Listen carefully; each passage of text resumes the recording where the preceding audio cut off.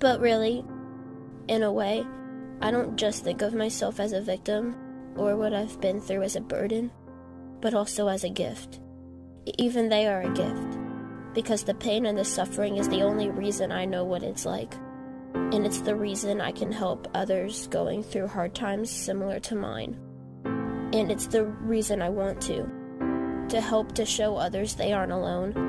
Because I know what it's like to feel like I'm the only one in this world who can feel this pain to be a small light in the dark roads others are going through while all I see is darkness. Because I like to be the light in the darkness. Because I know the darkness. To know I can go up to someone who I can tell is struggling because I'll find a way to help. Because I know what I wish someone would do for me. The only reason I am the person I am today is because of pain. It's the reason I care. It's the reason I'm so empathetic, so sympathetic, sometimes even for inanimate objects. It's part of the reason I feel what everyone else around me feels, and it's the reason I respect everyone as a human being. It's the reason I don't treat people in some of the horrible ways I've been treated. And it's the reason that I feel absolutely horrible when I accidentally do.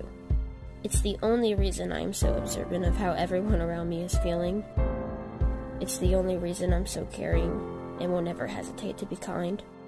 It's the reason I have such a deep understanding of simple things, like getting into a small argument with your friend. Even having six personalities is a gift. Not just because I understand others should do, but sometimes they are the reason I have someone to talk to. I wouldn't want to lose them. I want to work together as a whole, to join hands, because without all of us, I wouldn't be the same.